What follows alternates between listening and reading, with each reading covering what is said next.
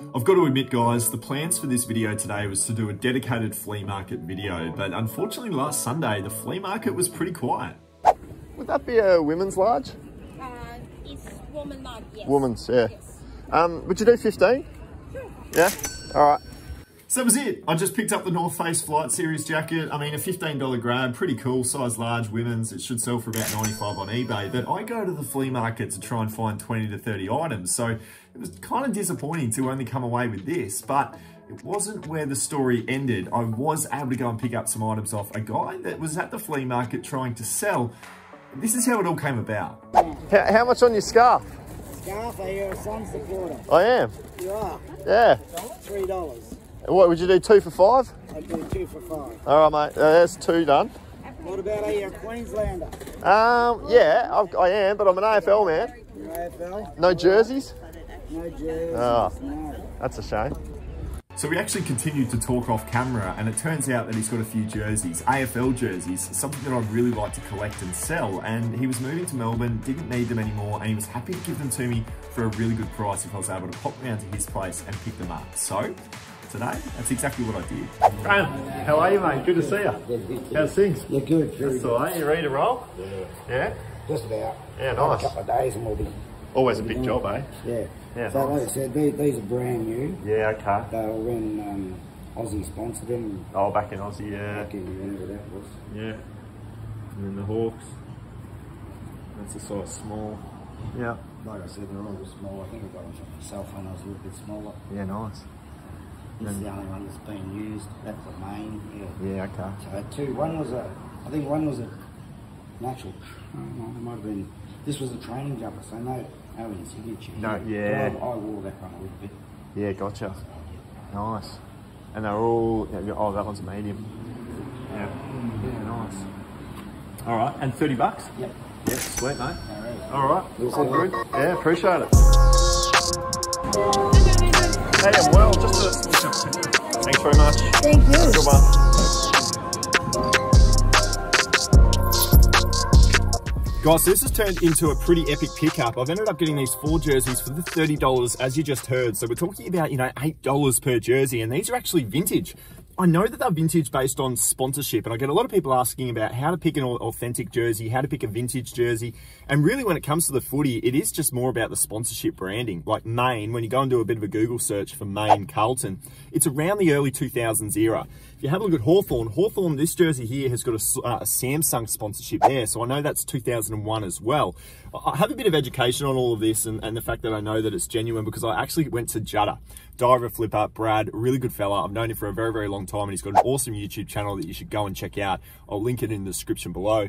But I asked Brad, I said, mate, what do you think? How much do you reckon I've got here worth of jerseys? And he said, look, list them all up as vintage. Um, majority of them are 2001, and uh, you should be able to get yourself about 100 bucks for the Hawthorn jersey, about 50 to 60 dollars for the two Carlton jerseys, and the Collingwood about 30. So when you add it all up, there's about 200 dollars worth of resale value there, which I knew there would be, knowing that they were vintage. Um, and I've only paid the 30 bucks. So the point that I really wanted to make in just highlighting this purchase and putting this into the video today is just because the flea market on face value seemed like it was a pretty slow that, uh, day, that just doesn't mean that that's going to be the case. You can always make things happen from it. And that was certainly what I did here with Graham. I just asked a few questions, got to know the vendor, and then from there I was able to run around to his place and pick up some stuff that I actually genuinely want to purchase to sell. So a little bit of a lesson there for you. I'm back in my bag, yo. Conscious. ISO. Down back in my bag and I ain't gotta brag, I do this shit for real. When we was down and we had nothing, we had to share a meal. We put the shit in overdrive with no steering wheel. Shorty throw that thing back in a pair of heels. Yeah, and she be riding on that thing like a Ferris wheel. Yeah, I love them dark skin, brown skin, caramel. You know I had to bring it to the hood like she Karen Civil when she keep on turning head. Cause when she walk that thing, jiggle, jiggle. And we going back to back on them like we Huey and we Riley. This that back in my back flow, we back again so highly. This that back in my back flow, we So this is, against the climb. is there any memory cards? Back in my back flow, we bring the force like Tommy. Back in my Yeah, if there's a memory card, that'll back in my probably help. flow. Back in my And it all tested and works, does it? You know?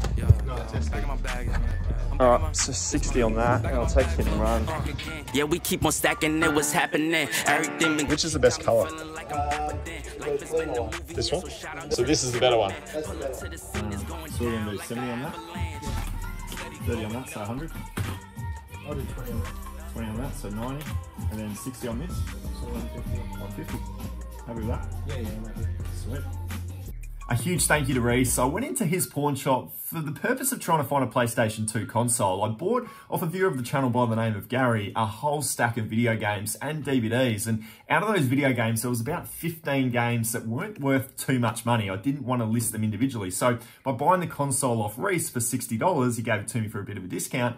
I'm then able to combine them with those games and I should be able to sell the entire package for about $150 and at least recoup all the money back and then maybe a couple of dollars worth of profit. It's always the best way to go about it if you ever find yourself with a stack of low cost video games. This though, I had to go ahead and purchase. I just thought this was one of the most nostalgic things I've ever seen. Um, this is the original Nintendo Game Boy, a 1989 DMG01, uh, one of the first that was ever made. And uh, to see it and to get it for 70 bucks, there's comps on eBay for around about $150. So really kind of Reese. He's got a $95 price tag on this and he's given it to me for just the 70 bucks. So I should be able to make at least $45 after fees and postage with this one here. Um, so a couple of cool little grabs there and a huge thank you to Reese. Definitely if you're ever on the Gold Coast, go and check out his pawn shop. He's got so much cool stuff to pick from.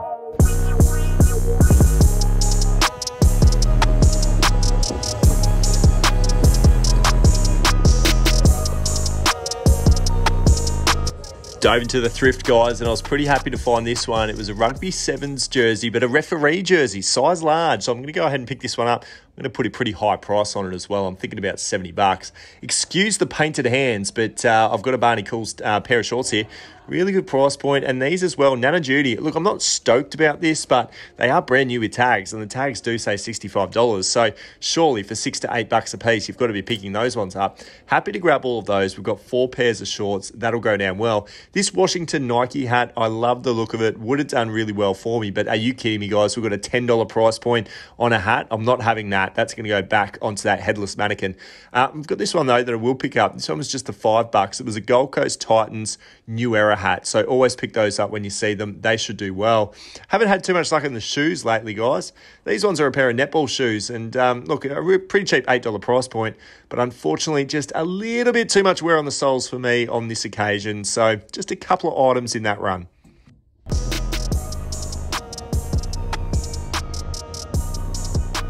Well, guys, I got pretty excited when I saw the DVD bin for just a dollar in this local Vinnie's. I went through every single one of these DVDs, scanning them up, trying to find something that was $10 plus on eBay. And unfortunately, I think the op shop guys knew what they had their hands on here. All of them were very, very cheap on eBay, so I had to let them go. Street Machine, these were some pretty good bundles, three for $5, a very fair price point, but just not a lot of comps on eBay for these. So therefore, I have left them back on the shelf. I picked this up though, I paid $12 for this. I like the fact that it's brand new with tag, or at least brand new in box. Uh, Heroes of the Storm, we've got Nova, should turn into about 40 bucks. And then we've got one video game here, Enter the Matrix. It was a $5 purchase, should turn into 20 So, not a massive uh, thrift run there, guys. Uh, a little bit disappointing. The price points are still high. I'm not going to complain about that. It is what it is. But while all of this has been going on, I have been over at my new place doing a bit of renovations. If you're here for the first time watching this video, a couple of weeks ago, I bought my first ever place and um, I'm moving in tonight. Tonight is going to be my very first night. Painting is now complete and the walls look brilliant. I'm going to run in there now. I'm going to show you the new place um, with all the renovations now done. And in Sunday's video, I'm actually going to be moving eBay into the garage and setting up my eBay business at my new place, which I'm super excited about. And I can't wait to bring you that dedicated video on that to go give you guys a bit of a look at how I'm going to set things up to optimize uh, my workflow. But um, I'll take you in there now. I'll quickly show you all the painting that's been done and I guess just how good it looks now from what it used to. So, guys, welcome to the new office. The walls have just been painted white and they are looking an absolute treat. That right hand side will see a big shelf put in place and there'll be a lot of housing of storage. My desk will go on this right hand side, and that's be uh, pretty much where I'm going to be listing all of my items. So, looking forward to getting in there. The living room has really brightened up Again, the white walls going in uh, over the yellow was a massive difference there. Putting the TV on the left hand side really has opened up the room. As you can see there, it was quite closed in with the previous photos.